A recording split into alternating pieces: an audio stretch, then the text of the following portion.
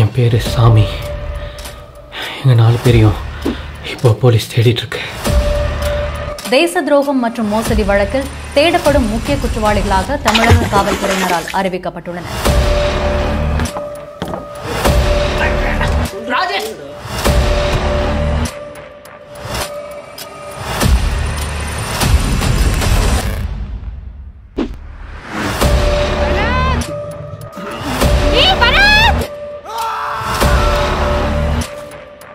ஆரம்பமே அமர்க்கலமா இருக்குடா.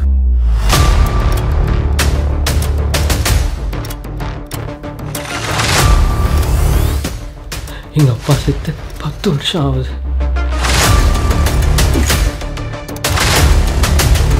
இது மொபைல் கிடையாதுடா இது மணி மேக்கிங் மிஷின் என்ன உளறீங்க?